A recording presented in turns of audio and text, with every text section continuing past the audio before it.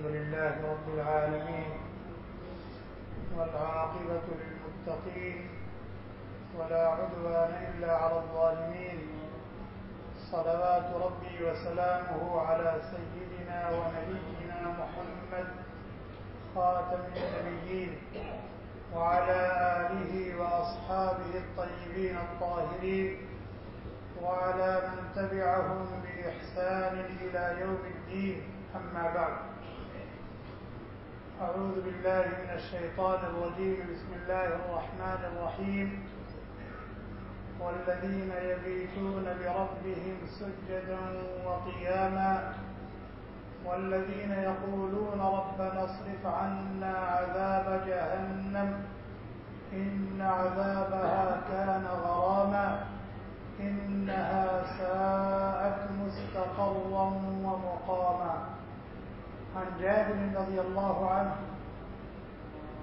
عن عمرو بن عبسة رضي الله عنه قال قال رسول الله صلى الله عليه وسلم إن أقرب ما يكون الرب تبارك وتعالى من العبد جوف الليل الآخر. فإن استطعت أن تكون ممن يذكر الله تبارك وتعالى في تلك الساعة فكن. فإن الصلاة محظورة مشهودة إلى طلوع الشمس.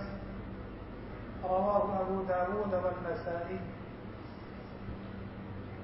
وعن أبي هريرة رضي الله عنه قال قال رسول الله صلى الله عليه وسلم ينزل ربنا تبارك وتعالى إلى سماء الدنيا حين يبقى ثلث الليل الآخر. ليقول من يدعوني فأستجيب له ومن يسألني فأعطيه ومن يستغفرني فأغفر له. متفق عليه.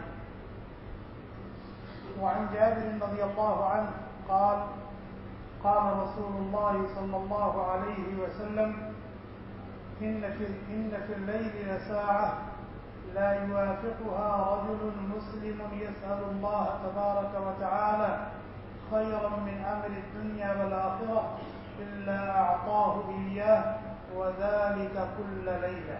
رواه مسلم. أو كما قال النبی صلی اللہ علیہ وسلم. گزشتہ دو ہفتوں سے نماز کے متعلق قرآن و سنت کی روشنی میں گفتگو ہو رہی ہے دو ہفتہ پہلے جمعہ کے دن نماز کی فرضیت اور اس کی اہمیت اور نمازوں کا اہتمام کرنے والوں کا انعام و اکرام اور اللہ تعالیٰ کے اس عظیم فریضے کی ادائیگی میں سستی کرنے والوں کا کی سزا اور اس کا بھگتان ذکر کیا گیا اور اس سے پہلے والے جمعہ کو جماعت کے ساتھ مسجد میں نماز نماز ادا کرنے کی اہمیت کو بیان کیا گیا۔ کہ جماعت کے ساتھ مسجد میں یہ پانچوں نمازیں ادا کی جائیں اور یہ کتنا اہم موضوع اور اس کی طرف سے ہمارے اندر کتنی زیادہ سستی پائی جاتی اسی سلسلے کی یہ تیسری کڑی ہے آج کہ فرض نمازوں کے بعد واجب وطر نماز ہے، اس کے بعد۔ اور سنن موقع یہ کل بارہ رکعتیں ظہر سے پہلے چار رکعت، ظہر کے بعد دو رکعت، مغرب کے بعد دو رکعت عیشا کے بعد دو رکعت، اور فجر سے پہلے دو رکعت۔ یہ کل بارہ رکعتیں یہ سنت موقع ہے سنت موقع کا مطلب یہ ہے کہ جناب نبی کریم صلی اللہ علیہ وسلم نے جس کی ادائیگی کا اہتمام فرمایا، پابندی کی،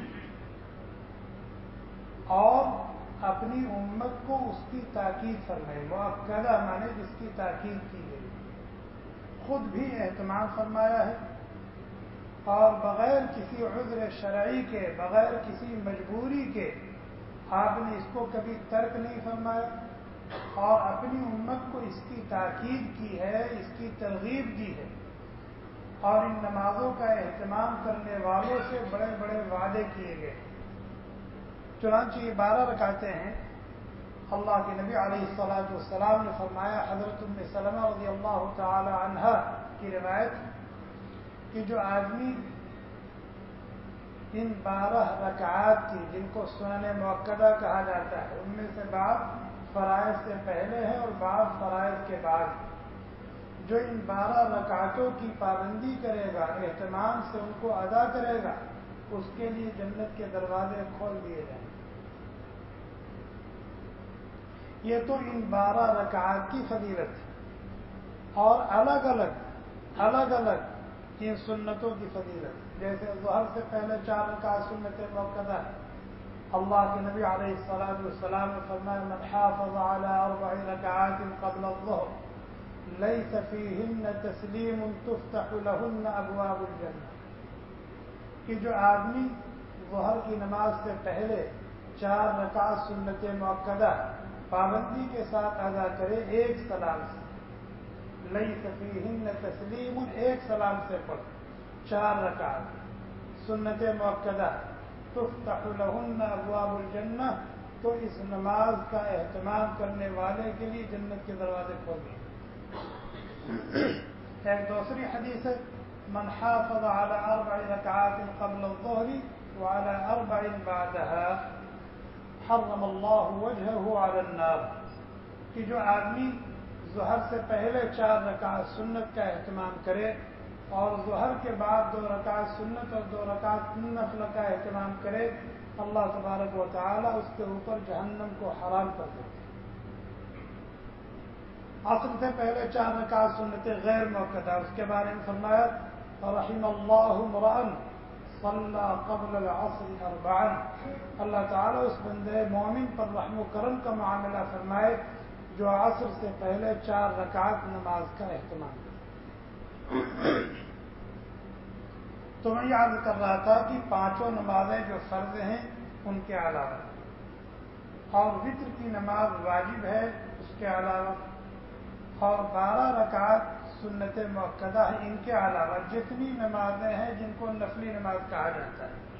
جیسے اشراق کی نماز ہے، چاشت کی نماز ہے تحیت الوضو ہے تحیت المسجد ہے سلاۃ الاوابین ہے اور دوسری نمازیں ہیں سلاۃ القصوف ہے سلاۃ الخصوف ہے، یہ سب جو نفلی نماز ہے۔ تحجد کی نماز۔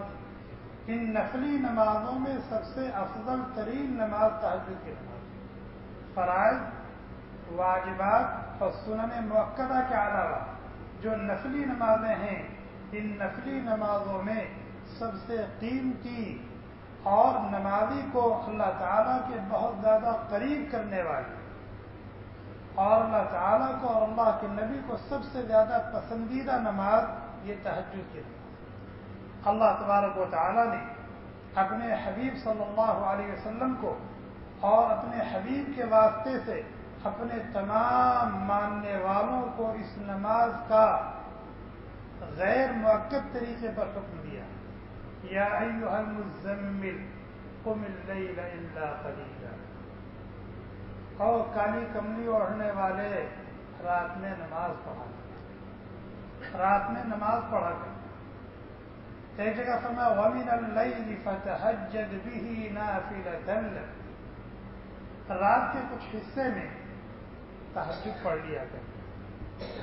تحجد پڑھ لیا کر۔ اور نبی کو حکم دے کر کے ہم سے کہا، لقد كان لكم في رسول اللہ اسوت حسنہ نبی کی زندگی تمہارے لیے بہترین اسوا ہے، بہترین نمونہ ہے۔ لہذا نبی کیا کہہ رہے ہیں اور کیا کر رہے ہیں، تم اپنی زندگی اس کے مطابق گزارنے کی کوشش نبی جس کام کو فرض سمجھ کر کر رہے ہیں، تم بھی اس کو فرض سمجھ کر کرو۔ نبی جس کام کو سنت کے درجے میں رکھ کر کے کر رہے ہیں، تم بھی اس کو کرو۔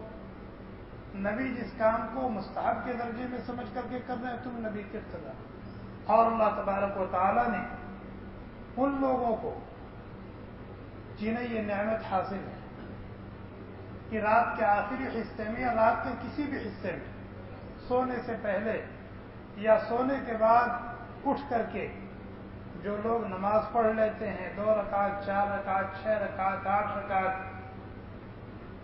اللہ تبارک و تعالیٰ نے قرآن کریم میں جا رضا ان کی تعریف فرمائی۔ ایک جگہ فرماتے وہ عباد الرحمن الذین يمشون على الارض ہونا رحمان کے بندے تو وہ ہیں جو رحمان کی زمین پر متوازعانہ چلتے ہیں۔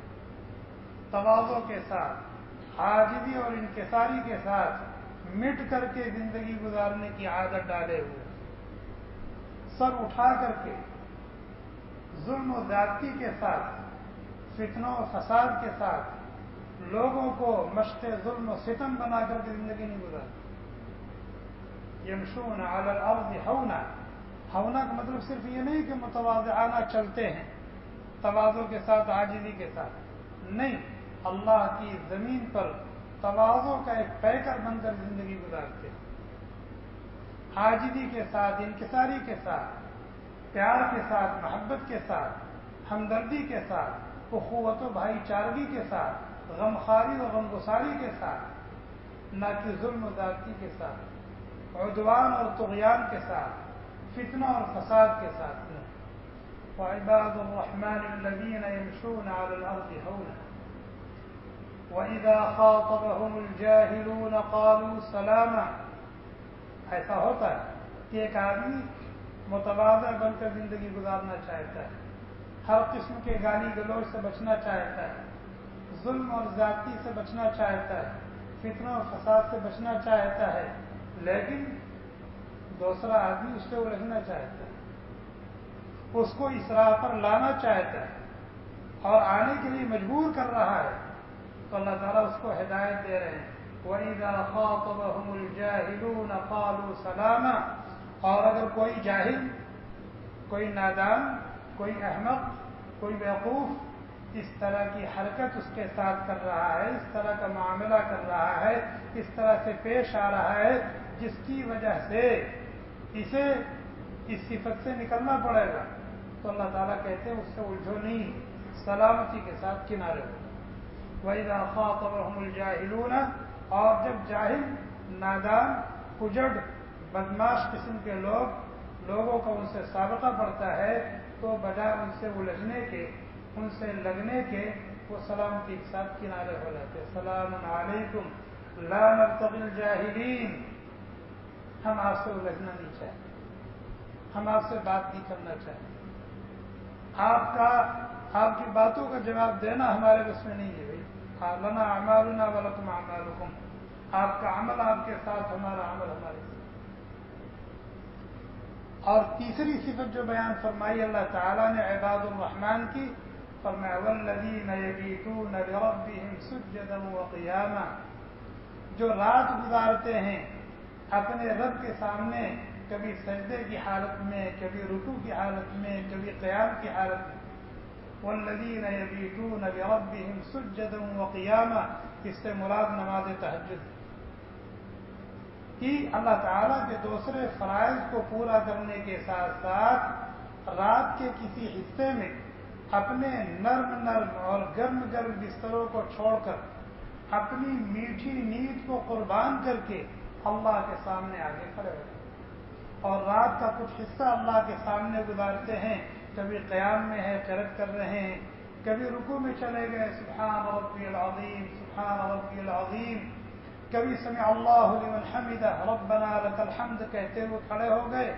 اور پھر کبھی سجدے میں چلے گئے، سبحان ربی العلیٰ سبحان ربی العلیٰ اللہ تعالیٰ تعریف کرتا رہا والذین یبیتون لربهم سجدا وقیاما۔ آج اگر دنیا میں کوئی ایرا غیرہ نتو خیرہ ہمارے منہ پر تعریف کے دو بول بول دے، تو ہماری کھوپڑی خراب ہو جاتی۔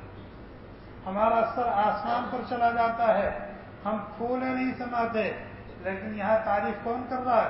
احکم الحاکمین تعریف کر رہا ہے۔ رب العالمین تعریف کر رہا ہے۔ دنیا میں چند خوشی کے اور تعریف کے بول سننے کے لیے ہم کیا کیا جتن کرتے ہیں؟ کتنے حیرت ہاتھ پیر مارتے ہیں؟ کتنی کوششیں کرتے ہیں؟ کتنی محنتیں اور مشقتیں اٹھاتے ہیں؟ لیکن اللہ تبارک و تعالیٰ تعریف کریں اور کس پر تعریف کر رہے ہیں؟ نماز تحجد کی پابندی پر۔ والذين يبيتون لربهم سجدا وقياما والذين يقولون ربنا اصرف عنا عذاب جهنم اور پھر اپنی وہ اس عبادت پر، اپنی اس توفیق پر نازا نہیں ہوتے، غرور میں نہیں آتے، عجب کا شکار نہیں ہوتے، بلکہ وہ اللہ تعالیٰ کے سامنے ہاتھ اٹھا کے کہتے رب نصرف عنا عذاب جہنم۔ اے ہمارے رب، جہنم کے عذاب سے ہمیں بچا لیجیے جہنم کے عذاب سے ہمیں بچا لیجیے ان عذاب کان غراما.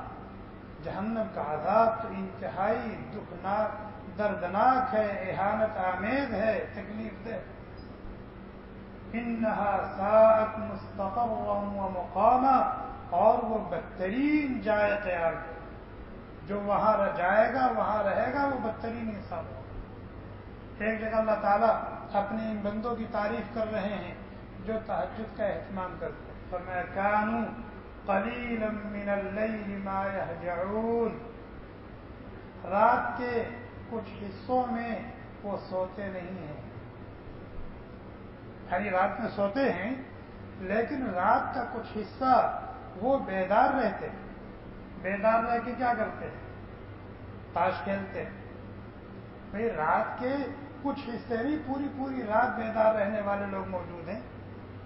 لیکن بیدار رہنے میں فرق بیدار رہنے میں فرق تو یہ جو رات کے کچھ حصے میں بیدار رہتے یہ کیا کرتے فرمایا، نماز کام قلیل من اللیل ما یہجعون بیدار رہتے لوگ تاش کھیلتے ہیں گپے لگاتے ہیں، مجلسیں جماتے ہیں، غیبتیں کرتے ہیں، الزام اور بہتان تراشی کرتے ہیں، یا پھر ٹیلی ویژن کے سامنے ان شن چیزیں دیکھتے ہیں یا پھر موبائل لے کے بیٹھ گئے، اس پہ پتہ نہیں کیا کیا کرتے رہتے ہیں، پوری پوری رات گزر جاتی ہے۔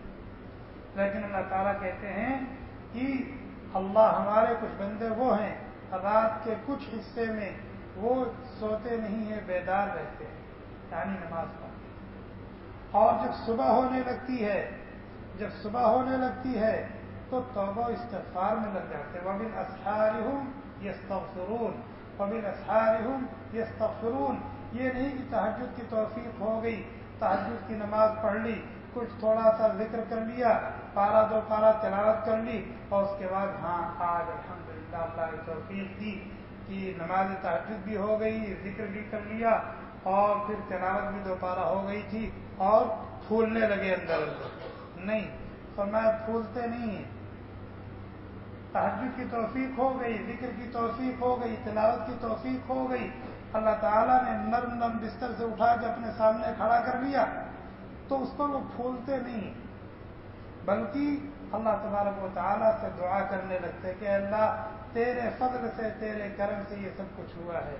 اس میں ہونے والی کمیوں اور کوتاہیوں کو معاف فرما دے۔ اور جو کچھ ٹوٹا پھوٹا ہوا اس کو قبول کر لے۔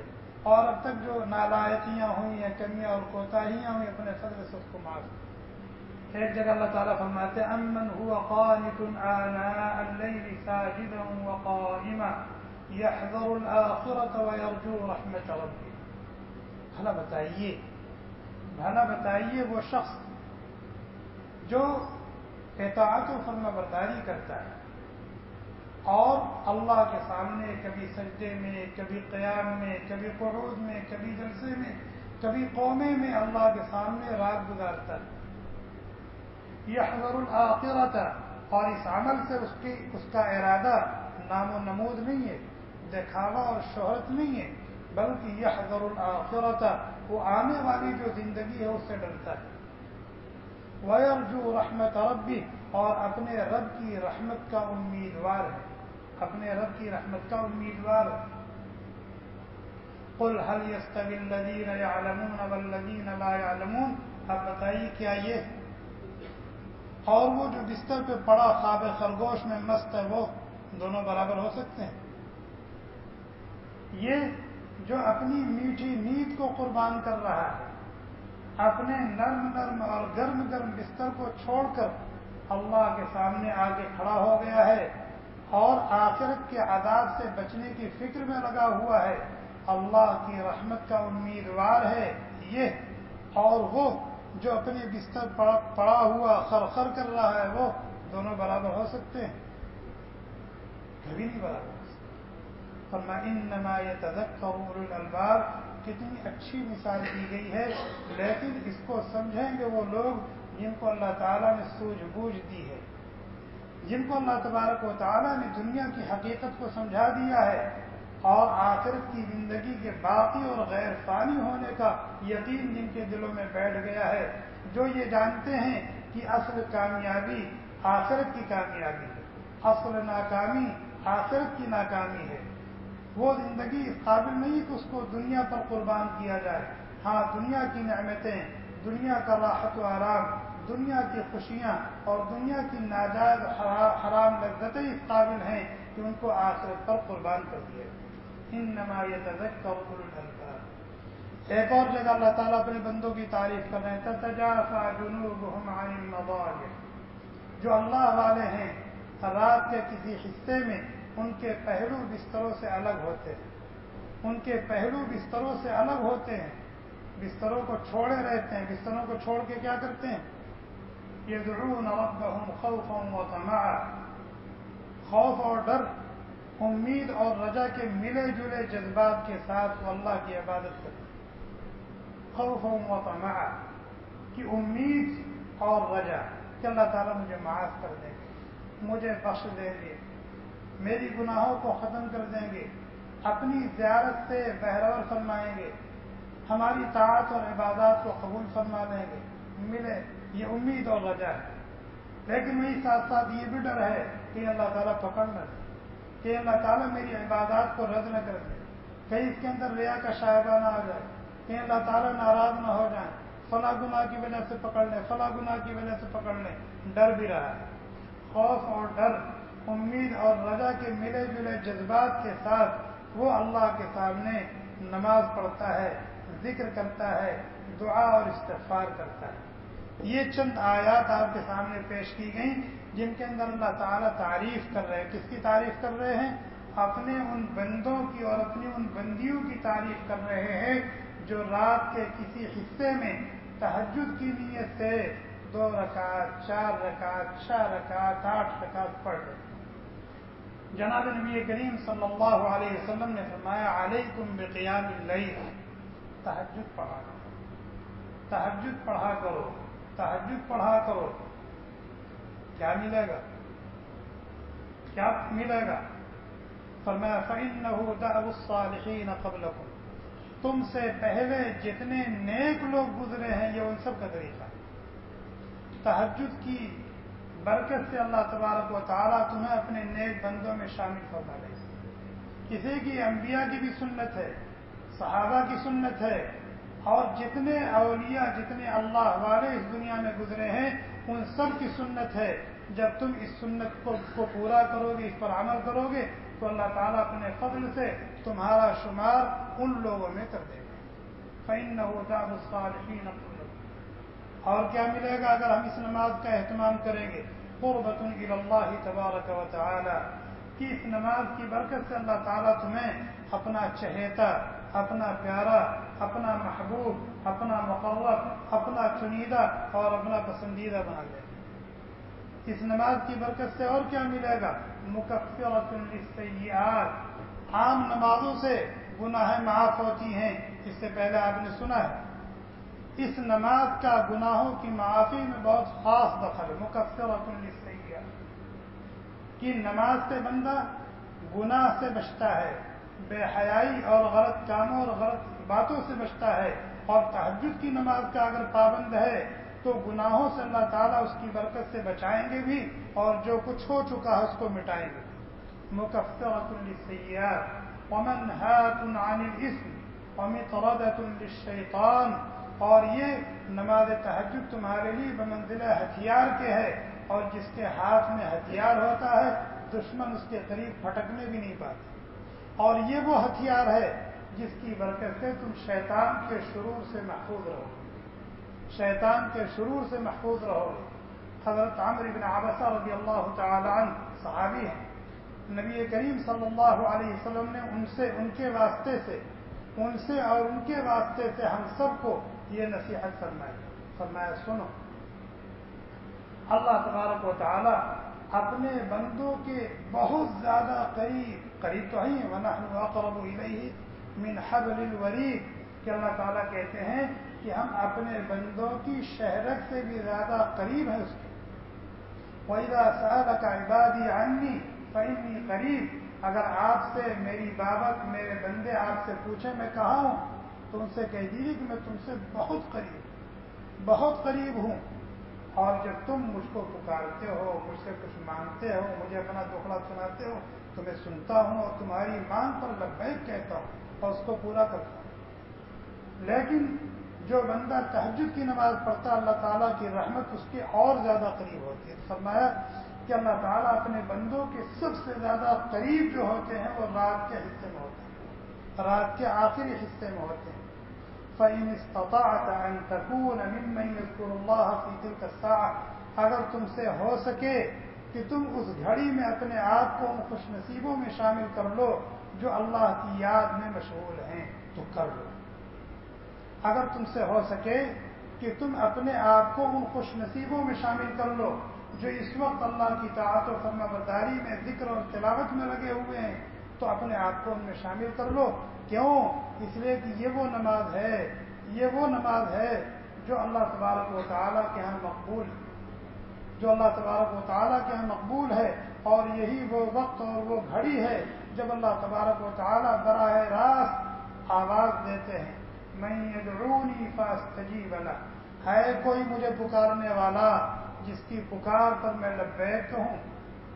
میں یسألنی فاعطیہ ہے کوئی مانگنے والا جس کو میں عطا کروں، جس کو دوں۔ میں یستغفرنی فاغفر له ہے کوئی مغفرت اور بخشش کی جھولی پھیلانے والا، کہ میں مغفرت اور بخشش سے اس کی جھولی کو بھر دوں۔